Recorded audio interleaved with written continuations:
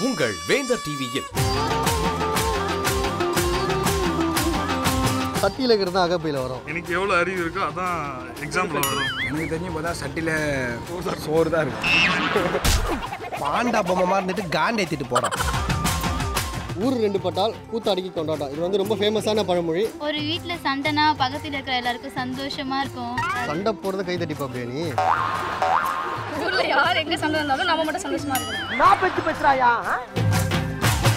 பழமொழிகளின் சரியான அர்த்தம் என்ன என்பதை கல்லூரி மாணவரிடம் கேட்டு பெறும் கலகலப்பான நிகழ்ச்சி. பழமொழி சொன்னா அனுபவிக்கணும். இதெல்லாம் ஆராயக்கூடாது.